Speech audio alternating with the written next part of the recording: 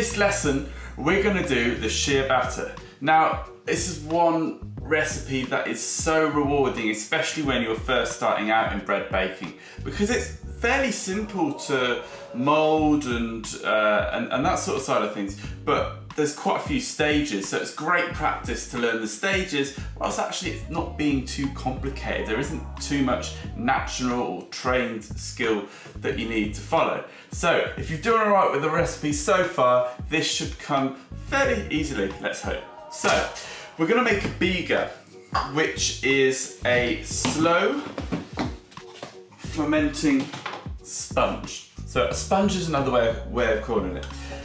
So all we're gonna take is some water, flour, and a little bit of yeast, tiny bit of yeast, and we're gonna then make that into, uh, give it a little turn, and then that will ferment and that will bring out a lot of the flavor, whilst also making that yeast a little bit more active. So when it goes into the main mix tomorrow, in about 18 hours time, it's gonna add a lot of flavor, it's gonna add structure, and a little bit of aroma. But first of all, we're gonna weigh the water. So like with anything in bread baking, the water temperature controls a lot. Now it's fairly warm, it's about 22 degrees over here at the moment.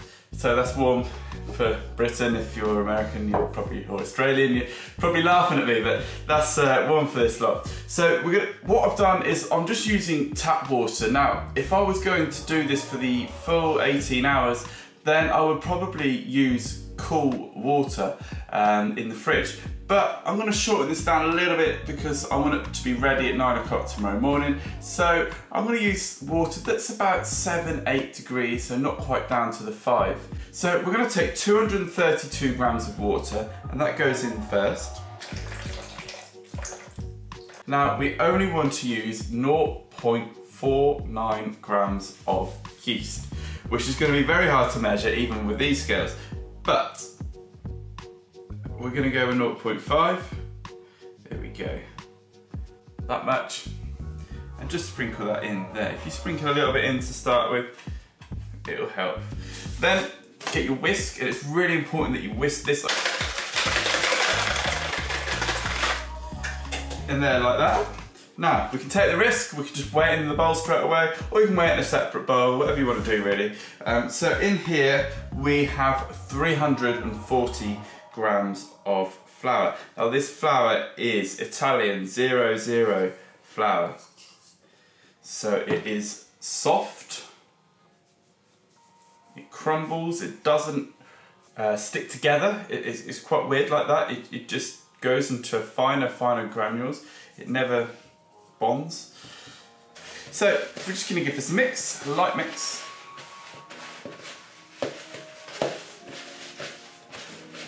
That is going to make the bread a ciabatta as opposed to just a straight loaf of bread. It's that important. So we cover that with a bit of cling film or you could do some food bag or something like that over it um, to cut out any moisture, uh, cut out any airflow from it um, so that'll dry it up and yeah, leave it for 16, 18 hours, depending on the temperature of your water, the room.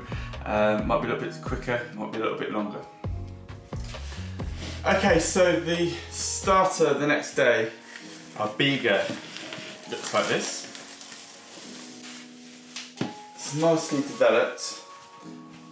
There's holes all the way through it, air bubbles, and the smell it's one of the most remarkable things. It just comes up smelling so perfumey, so uh, alcoholic. It's absolutely lovely. So of course now's the time to start weighing up our ingredients. We're gonna need some flour first of all, which again is the same flour, it's double zero flour. And for this, we're just gonna use 400 grams. So bearing in mind that is, we used 340 yesterday when we were making the biga and 400 of the fresh for our main dough. So that's a really strong percentage of biga to our main flour ratio. And the reason for this is we want that perfume flavour, we want those aromas, and we want a really strong and thick dough. Okay, we're gonna add a bit of yeast. Which is seven grams. Quite hot today, so I'm only going to put in actually, I'm only going to put in six because otherwise this dough is going to explode, I think. So in that goes there, that can go with the flour. Next up, the salt. Now for this recipe, we're calling on 12.8 grams, which is about 3% to the, to the original flour weight, but when you consider the amount of flour that's in the biga, it does bring the percentage down to a more, more normal 2% layer. This salt seems to be not dissolving in my flour, so what I'm going to do into the actual dough, so what I'm going to do is put it in the water, give it a mix up with a mixer, and that should then allow the uh, salt to break down properly. So water, we actually add it in two steps, so 256 grams in the first go. And then so we'll add our salt to that. And for this one, it's 104 grams. Now the olive oil adds a little bit of flavour, a little bit of colour, and a little bit of uh, aroma, a little bit of smell. So we're going for 7.6 grams here. But you can be a little bit more generous if you want to be. And of course I've added a little bit extra in, um, just because it will stick in the pot. The only thing remaining to do is just to give the salt a beat. Now, I said I don't normally do this, but I'm trying this uh, posh salt that I got from France. And for some reason the crystals just don't want to break down. So in we go with this.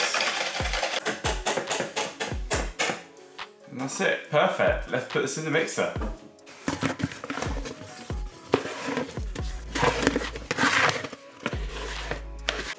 Then we'll add in the water. And hope we get all that salt out. So I'm just going to scrape the bowl.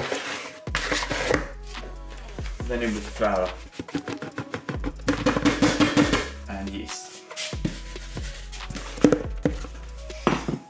Ready to go in later on. So we're going to crack this up and we're going to mix slowly and it's going to be for about eight minutes. We're going to really try and get to the window pane effect with this dough.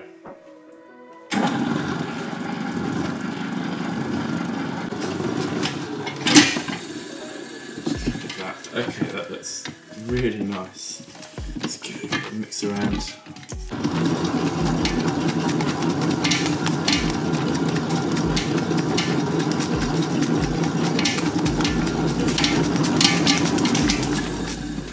Okay, so that's eight minutes slow and eight minutes fast. And you can see this dough has got a nice white colour to it. Uh, relatively smooth. We try and stretch it out. We've got, we've got, we're not quite a window pane just yet, but you can see it's really close to being there. What we do now is we're going to add the second amount of water and we're going to do that with the motor running on slow. If you're doing it in uh, by hand, you just put the dough back into the actual bowl, use a larger bowl, and then just mash it up for a little bit. And uh, it takes two minutes or so, but it will eventually incorporate. So we're putting it on slow. You can do it fast if you want, if you've got a big enough bowl, but I do find that quite often it splashes back out of the bowl, so it's, uh, it's a bit silly. So I'm going to add this gradually, and what this does by adding it in later is it just creates more irregular, confuses the pattern of the dough, and uh, gives us that irregular crumb that we crave in ciabatta. So as you can see, it's flying up already. So leave that in there for a minute or two. Don't be tempted to add flour, it will incorporate soon as we get to this stage, we're going to crank up to the higher speed, get that really fully.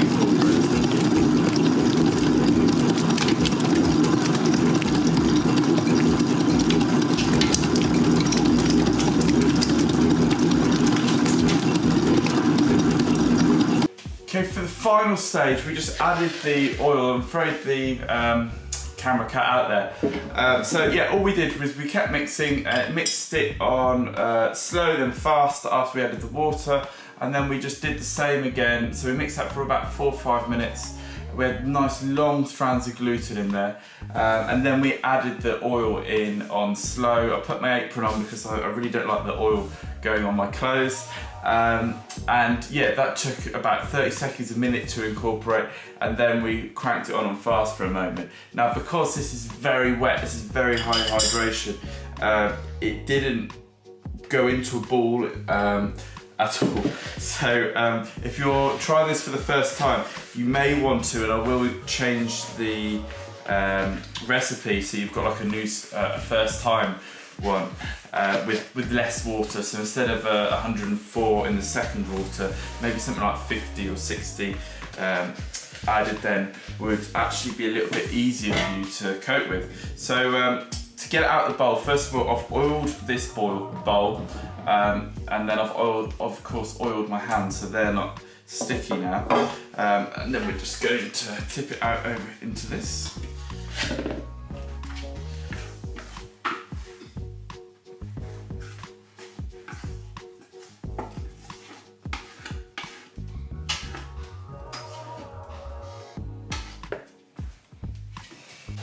So yes, now let's have a look at this dough now as we leave it to rest. Now you've got to bear in mind, we're gonna now um, leave this to ferment naturally. So if it's completely ready now, then it'll be completely ready to start our final proof. So it needs to be a little bit under ready. So if you can see that we have now got some sort of window pane thing going on here. It is still quite irregular, um, but you can see the strength in part of that gluten. Um, yeah, and I think as we leave that to rest, and we're going to do three folds after 20, after every 20 minutes. So one fold, 20 minutes, one fold, 20 minutes, one fold, um, 20 minutes. And then we're going to divide our ciabatta and they'll quickly prove in about an hour and a half um, ready for the oven. So that fermentation time before we divide and do our final proof is going to really allow this dough to force itself together and become absolutely perfect. So I'm excited about these. You may think, oh, that's a little bit stringy, it's a little bit irregular. That's absolutely fine. It would be less so if we added less second water, um, but this will actually make a really nice, light and long um, aerated dough. Okay, so the next stage is the stretch and fold. So we've allowed it to rest for 20 minutes, and now we're gonna do our stretch and fold. So we, again, we can do it in the bowl, uh, or you can do it on the table. I'm going to just do this in the bowl. So nice stretch up and over. Good idea to wet your hands so it doesn't stick. Up and over. Up and over. Up and over. And look, you don't have to be too exact about it. All you're doing is moving the dough around, putting the new bit, uh, the bits that are warm and more um, active, um, from the outside to the middle, just swapping it around. Uh, and that's it, that's all you've got to do. Um, that's fine. So again, we'll leave this, we'll do it again in 20 minutes, repeat the process, do it again in 20 minutes after that.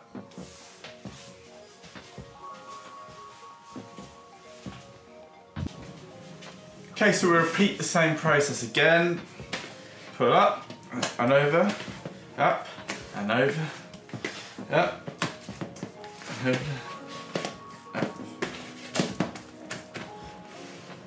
Fantastic. Another 20 minutes, we do the same thing for the last time.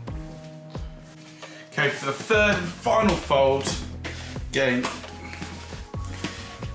can start, this dough is now starting to take on a bit of charisma of its own. It's got a wobbly, but still firm. And yeah, so we give that another 20 minutes might actually pull that down to 15, this is almost ready. Um, and then we're going to start dividing the ciabattas into pieces. Okay, what I've got over here is a tea towel, which um, is, is a clean one. Um, and then I'm just gonna add some flour and semolina to it. This is just a mix from where I've used flour and semolina before then just scraped it off the table, given it a sieve to make sure there's no uh, clumps of uh, dirt, uh, clumps of dough locked in there. Um, and yeah, that's it really. Um, we probably don't need that. So I'm just going to sprinkle some of this again on the table. Now, what's really careful about this is we don't incorporate any flour inside the dough. We're not going to fold it, we're not going to mould it. We're just going to place the dough on the table well floured. Uh, we can put a bit of uh, flour semolina on top. That will just help us cut into it so our blade doesn't get stuck. Um, and then we're just gonna weigh our dough pieces. So for these ones, I'm gonna look to do some slightly wider ones than I would normally do. So you can do small ones like that. You can do, you can even do little rolls. Um, you can do long ones. We're gonna go ours about that big. So first of all, the best thing to do is to make sure the dough is relatively that sort of shape. If we need a bit more flour underneath, then we'll put a bit more flour underneath. Okay, as long as we don't get the flour inside it, that's the main thing. So, uh, so our dough piece is now in kind of the shape that we're going to want. Uh, I can just prickle it around with my fingers just to kind of spread out any dense pieces of dough. Um, and yeah, I think we're ready. So we're gonna just cut this one along here. And we can weigh them, or we can opt to not. Now, I'm just gonna lay the first piece on there, and then we fold the top piece up, okay? And then the same with the next piece. Now, it's up to you, you can make them a bit tighter and you'll probably have a more uniform shape, or you can have a little bit loose and allow them to kind of go their own way, as uh, Fleetwood Mac would say. Um, then, interestingly enough, you should rub some on your hands, you can, oh no, go that way, or you can flip them over the other way, it doesn't really matter. Um, but it will add a bit of effect if you do it at the last stage, which will show when they're ready to go in the oven. So, light dusting there, I think this one just be one, slightly larger one on there. Okay, so uh, making sure we've got enough flour so it doesn't stick. And these will now be left to rest or to final proof for around an hour to two hours. Okay, so it's been about an hour and a half and these guys are looking absolutely beautiful. Now we can sort of do the pinch test now and it does still spring out a little bit, but we do want a bit of oven spring coming from these. And if it was to be overproofed, um, so it had no strength, so if we were to push it in and it was to stay completely down, then um, it would it might actually collapse in the oven and we want it to puff up, we want it to get nice and big. So a little bit under is definitely recommended. Uh, an hour and a half, look, they've pretty much, I would say almost doubled in size. They're a lot bigger than they were.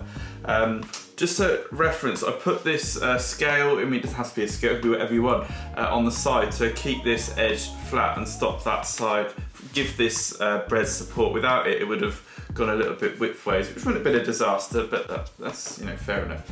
I'm going to use uh, my baguette peel and just put them in one by one. So there's two ways to do it. You can either put it in this way, okay, and this way you're to get the lines on the top from the surface, from the mat, um, and it's going to be kind of a, but then again it's also going to be a sort of a more uh, smooth top, less irregular. And we'll put this one in like this. And then the other way we'll show you gives you the other side on top, which gives a more rough um, um, exterior.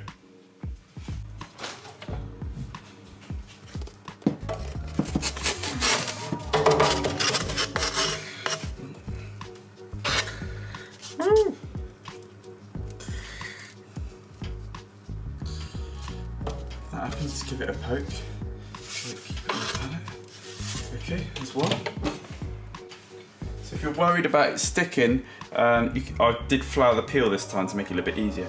So this way, we're gonna, we picked up exactly the same way, but we're just gonna tip it over that way. Give it a poke so it stays on there. Uh, we're gonna try and keep these separate as they will batch. We don't want that. We're gonna do two in one, one in the other. That's not perfect, but hey, that they'll be very nice, I am sure. So there you go. So in they go like that. We're gonna add a little bit of water. The other one will get done afterwards. Not loads, we don't need to put any extra steaming, just this initial hit. Get that door shut, drop that down to 220, Uh, just going to put the top heat on just so it gets up to that 220 temperature as soon as possible. The stone is nice and heavy. Anyway, um, yeah, so we're just going to bake these off now and should take about 220. After about 20 minutes, we'll come and have a look at them. And what we'll probably do then is open the door and just try and aerate the, uh, the, it, the crumb inside. Let some steam out. It's a bit of a way off. Keep the door closed. Actually, I'm gonna change that to 10 minutes. So it's had its extra 10 minutes. We've given it, I've turned around. Open the door, that is gonna be absolutely lovely. It's gonna have a nice little crust on it.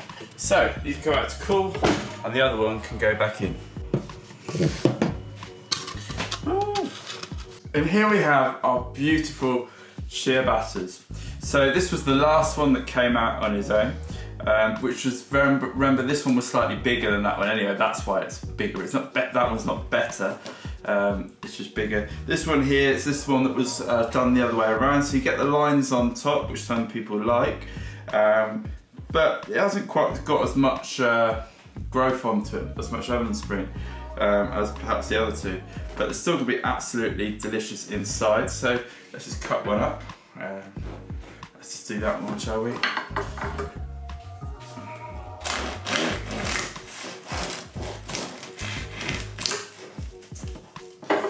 Yeah, there you go. So nice and open, soft, springy, absolutely delicious. Um, yeah, I really love making ciabatta. Everybody loves eating when kids especially love eating these batters So give it a go. You can make your own little variations. You can um, bake them for longer, dry them out a little bit more, so a little bit less. I uh, hope you really enjoyed this recipe. Give it a go. Let me know how you get on in the comments.